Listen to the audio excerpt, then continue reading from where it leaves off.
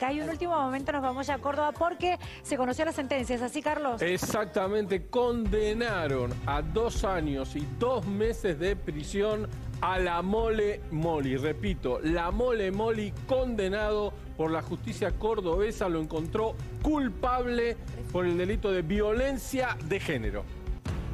Vamos con Belén. Nos vamos con Belén Bianchi. Sí, Belén. Así es, chicos. Bueno, esto fue hace instantes nada más. Prisión condicional, dos años y dos meses para Fabio La Mole Moli. Bueno, Marta acaba de conocer también esta sentencia aquí eh, junto con nosotros. Marta, ¿estás de acuerdo con la sentencia? Sí, porque, o sea, eh,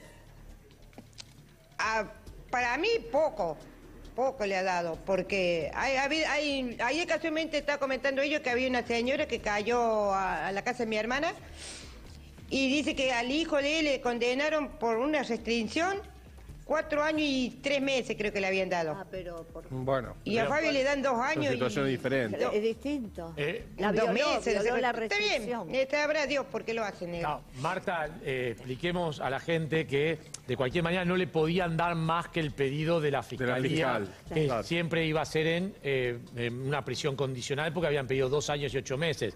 Igual dos años y dos meses, seguramente, ahora nos falta conocer los fundamentos del fallo, debe tener muchas pautas de conducta. Y si alguna de esas pautas de conducta las incumple, y entre ellas supongo que estará el de no acercarse a usted, eh, va a hacerse efectiva y él seguramente tendrá que pasar, si incumple una de esas pautas de conducta, mm. en la cárcel el resto del tiempo. Ojalá, ojalá que le pongan esa conducta, a ver si se cambia un poco y no, no me moleste a mí. Es un límite.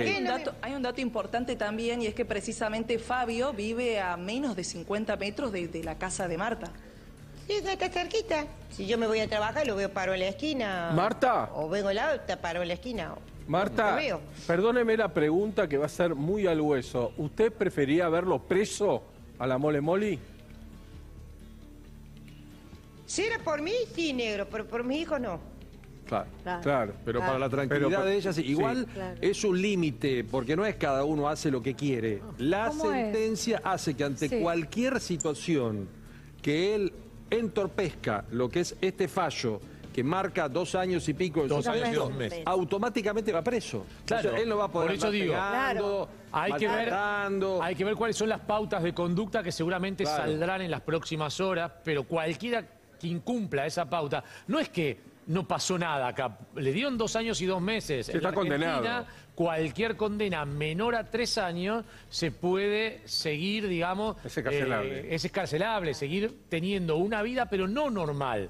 Tiene que cumplir un montón de pautas, Marta. Mm. Y si incumple alguna de esas pautas, irá preso. Lo que sí, fíjese, eh, digo, sería importante, si, si no está dentro de esas pautas, que haya una restricción no menos de 300 metros para que usted se pueda sentir segura. Ojalá que la justicia mm, le ponga una restricción ahí, que lo, que lo hablen a él, que le pongan una restricción. Para que no me moleste a mí ni... Mm. Lo único que le vamos a tener que molestar es cuando se tenga que hacer el ADN. ¿El ADN? ¿El ADN? ¿Qué ADN? Por uno de los hijos. Ah, ¿cómo es eso, Marta? Con mi hija mayor que dice él que no es de ella. Que no es de él dice que sostiene que la hija mayor no es su hija. Y si por eso vinieron los golpes y por eso fui y lo denuncié. Mm, mm, claro. Marta, ahora, en ese caso, en ese caso eh, si él no admite hacerse un ADN, la justicia determina que su hija es hija de él también. Y se acabó. Sí. Y se terminó el asunto. Ahora, ¿cómo queda su relación con sus hijos después de este fallo, Marta? Y la verdad que no sé, yo no he hablado con ellos, ni ellos han venido para acá, así que no tengo, no tengo ni idea, negro. Mm. ¿Pero usted cree que se pudo haber roto algún, algún lazo con ellos por la condena al padre? Y, si no está preso el padre. Sí, lo que no querían verlo preso.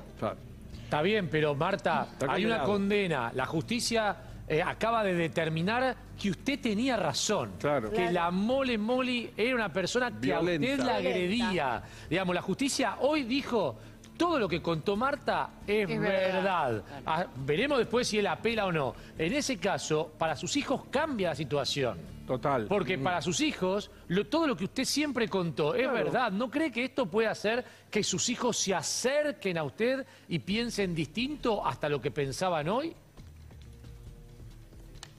Pero negro, pues sí, ellos lo vivieron conmigo. Claro, ellos vieron cómo las pasaban. Sí, Ya lo lo vivieron, conocen. vieron la violencia acá adentro conmigo. ¿Qué, qué esperaban? ¿Que la justicia le dijera que el padre era culpable? Era Claro, obvio. Vive en un infierno. Obvio. Lo que pasa es que. Ellos nunca querían el papelito de inocente, pero ellos lo vivieron conmigo acá adentro. Claro. No sé, no sé qué esperaban ellos, que el, que el padre saliera con el papel y dijera, no, mira, tengo, no hice, nunca le pegué a tu madre. No, pero sí es importante Pero por ellos eso... lo vivieron conmigo acá adentro. A ellos no le hacía falta que la justicia le dijera culpable o inocente. Claro.